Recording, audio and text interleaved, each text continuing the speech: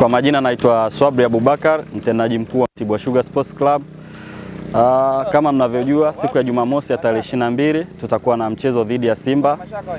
Kwa kutambua umuhimu wa mashabiki wetu, tumewaandalia kitu special ambacho kitakuwa ni kujali afya yao kwa kushirikiana na Wizara ya Afya.